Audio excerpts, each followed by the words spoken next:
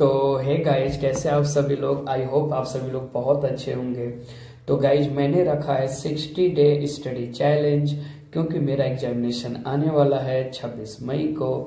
तो guys sixty day challenge का आज पहला दिन है। अभी मैं अपनी स्टडी रूम में हूँ और रात के करीब साढ़े ग्यारह बजे हैं। तो गाइज़ मैंने अपने सिक्सटी डे चैलेंज का जो पहला डे है, इसको पहला डे तो नहीं बोलेंगे obviously it is first night and I have just you know study it for thirty minute so far तो अपने इस तीस मिनट की स्टडी में जो कि मैं अभी इन्वायरमेंट के इकोलॉजी और इन्वायरमेंट को कवर कर रहा हूँ, जो कि मैंने अपना फ़र्स्ट डे या फ़र्स्ट नाइट चैलेंज रखा है, इसमें मुझे भोर भले हो जाए गाइज़ लेकिन मुझे अपने कुछ मेन कंटेंट्स को अपने यू नो रिविजन करके पूरा करने हैं, जो कि मैं कर रहा हूँ। तो गाइज़ अभी आप देख सकते हो कि किस तरीके से जो स्टडी चल रही है, और आपको मैं, ये जो टाइम है गाइज़ तो ये है साढ़े ग्यारह और देखो जो है, मैंने अपनी स्टडी जो है, कि किस तरह से जो स्ट्रेटजी जो इस बार तैयार की है गाइज़ और कल दिन में जो है गाइज़ सी सेट अपना शुरू होगा, ठीक है मॉक टेस्ट वगैरह। तो गाइज़ यहाँ देख सकते हो कि मैं जो है किस तरीके से अपना स्टडी कर रहा हूँ, जो कि पंचामृत है, जो कि मेंस में भी पूछा गया था। और जैसे कि यहाँ से मैं स्टडी जब कर रहा हूँ तो मुझे एक टर्म मिला गाइज़ ब्लू कार्बन और ब्लू कार्बन को यहाँ पर डिफाइन किया गया है। तो मुझे ब्लू कार्बन नहीं रुकना है। मुझे कई तरह के हाइड्रोजन्स भी blue hydrogen grey hydrogen green hydrogen pink hydrogen उसी तरह से ब्लू कार्बन और ब्लैक कार्बन जितने भी कलर कोडिंग होते हैं, उस सब के बारे में मुझे यहाँ जो है चैट जीपीटी से मुझे आंसर लेकर रिवीजन करने हैं। तो जैसे कि आपके टॉप देख सकते हो कि आ गया ब्लू कार्बन तो जैसे ही मैं आपको पी वाई क्यू दिखाऊँगा मैं, मेरे पास यहाँ पर कुछ पी वाई क्यू हैं, जहाँ आपको समझ में आएगा कि ब्लू कार्बन जो है पूछा गया है तो चलिए आपको दिखाते तो गाइज़ जो है अगर हम बात करें गाइज़ प्रीलिम्स के जो है फ़र्स्ट पेपर में जो एक बार एक क्वेश्चन आया था ब्लू कार्बन तो I have just searched out that question so let me reveal in front of you you know that beautiful question right now तो गाइज़ आप कि यहाँ पर जो आपको दिखाई दे रहा है कि guys what is blue carbon आप देखो यहाँ पर। कि ब्लू कार्बन क्या है? देखो this is the guys question और देखो, ये मैंने जो है टिक भी गाइज़ सही लगाया था carbon captured by oceans and coastal ecosystems और अगर हम बात करें कि मैं जो अभी स्टडी कर रहा हूँ, उसका गाइज़ क्या हाल है? इसको रखते हैं पहले अच्छे से।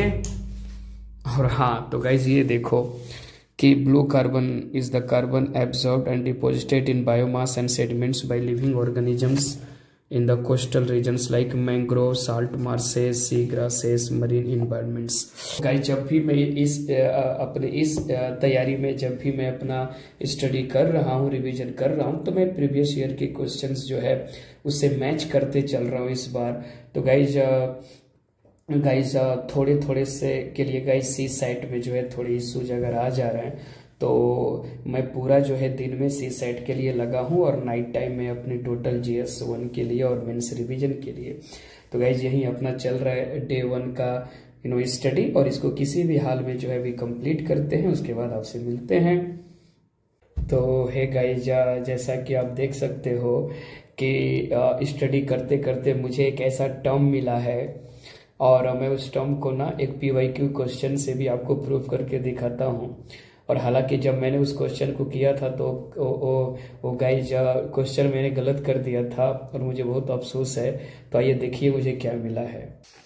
तो गाइज़ फ़र्स्ट डे चैलेंज को स्टडी करते करते आप देख सकते हो कि मुझे अपने इन्वायरमेंट और इकोलॉजी के इस कॉन्सेप्ट में मुझे एक टर्म मिला है गाइज़ ग्रीन वॉशिंग तो गाइज़ यूज़ ऑफ़ फॉल्स और misleading promotion and marketing to you know exaggerate and organisation environmental और सस्टेनेबल एक्टिविटीज़ तो कोई अगर गलत जानकारी देते हो कि हम अगर कोई काम कर रहे हैं जो इन्वायरमेंट से जुड़ा है, लेकिन आप जो है वो गलत चीज़ें बता रहे हो। आप एक्चुअली में कर नहीं रहे हो इन्वायरमेंट के परस्पेक्टिव से, लेकिन गलत चीज़ बता रहे हो। तो गाइज़ एक जो टर्म है तो मैं उस टर्म को दिखाता हूँ आपको। कि मुझे वो टर्म कहाँ मिला हुआ है। तो हम्म तो गैस चलो, मैं आपको दिखाता हूँ ग्रीन वॉशिंग तो इस बार थोड़ी सी मेरी स्ट्रेटजी गाइस चेंज्ड है।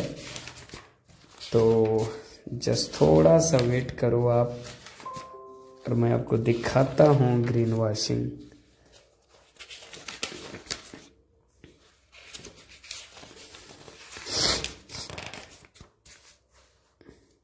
तो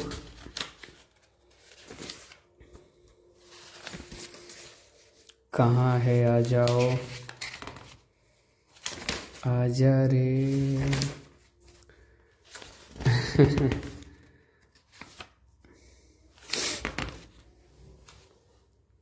तो गाइज़ मैं भी सर्च कर रहा हूँ।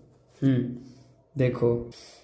देखो guys which of the following best describes the term green washing तो guys conveying false impression that a companies products are eco friendly environmental sound guys ये था इसका आंसर लेकिन मैंने टिक लगाया था सी पे, इसीलिए मेरा जो है गलत हो गया था। तो यही चीज़ है और आप देख सकते हो कि वहाँ जो है ये टर्म यहाँ पे आ चुका है तो इसको मैं अच्छे से इस बार रिविजन कर लेता हूँ। तो गाइज़ ठीक है? अपना ये नाइट में अपनी स्टडी जारी है, चलिए बढ़ते हैं आगे। तो गाइज़ अभी जो है रात के ना राइट जो है बारह बज चुके हैं और थोड़ी थोड़ी जो ठंड है ना, वो बढ़ने लगी है। इसलिए गाइज़ थोड़ा सा मैंने जैकेट वगैरह डाल लिया, आप देखो। और उसके बाद अब सीधे चलते हैं आगे और थोड़ी देर में गाइज़ आई थिंक कि एक या डेढ़ बजे जो है मैं चाय तैयार करूँगा, उसके बाद जो है फिर पढ़ाई शुरू। जब तक ये मेरा कंप्लीट नहीं होता है, मुझे नहीं सोना है। मोटिवेटेड रहना है, थोड़ा टहल लेना है, थोड़े, थोड़ा सा पानी का सेवन कर लो मोटिवेटेड रहो। थोड़ा सा अगर सॉन्ग सुनना है तो सॉन्ग सुन लो, ठीक है? और उसके बाद गाइज़ फिर से लग जाओ। तो गाइज़ अभी जो है करीब टाइम जो हो रहा है कि बारह बज के लगभग पच्चीस मिनट होने वाला है।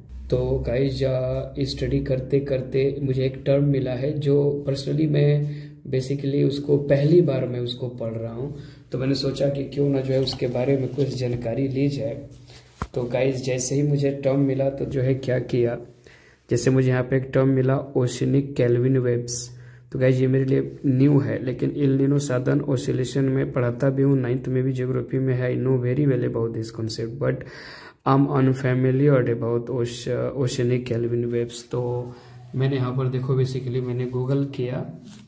और जब मैंने गूगल किया तो यहाँ मुझे मिला है Kelvin waves the Kelvin wave is a wave in the ocean और atmosphere that balances the earth Coriolis force Coriolis force तो ठीक है, बहुत ही क्लियर कॉन्सेप्ट है।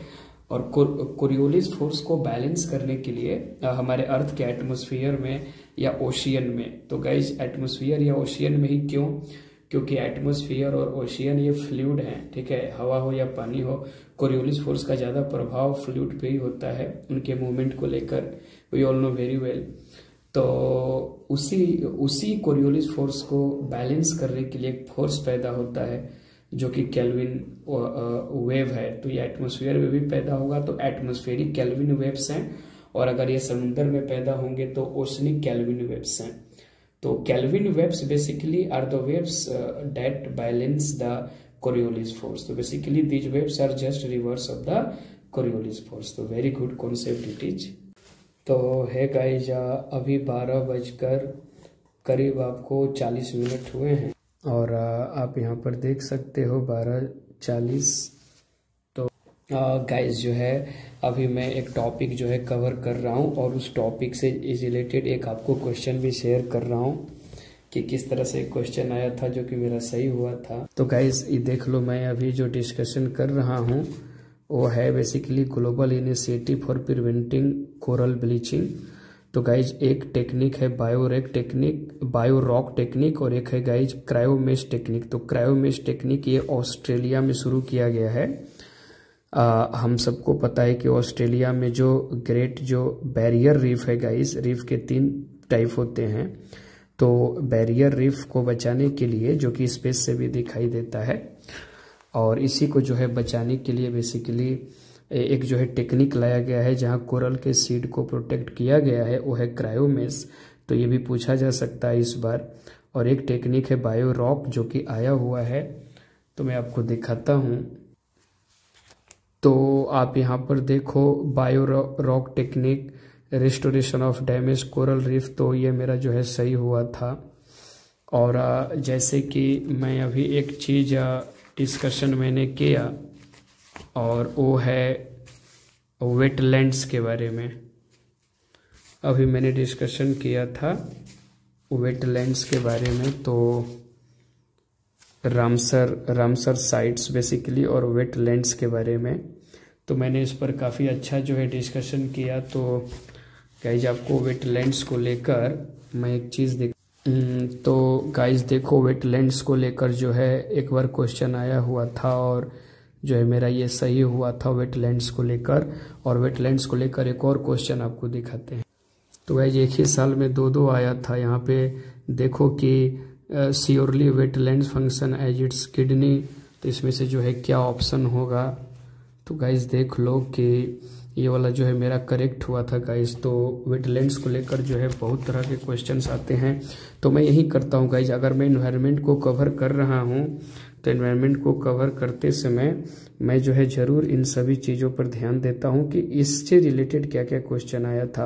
अब जैसे मैंग्रोव है तो मैंग्रोव को लेकर क्वेश्चन आया था कि किस किस राज्य में मैंग्रोव है।